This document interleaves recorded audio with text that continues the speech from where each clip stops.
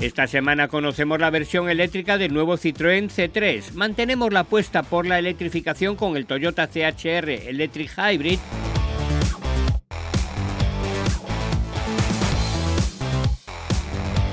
Y en un mercado en donde los fabricantes chinos están en pleno desembarco en nuestro país, nuestro equipo de probadores analiza el nuevo Moda 5, un vehículo que en breve iniciará su comercialización en toda España. En Galicia ya tenemos tres concesionarios.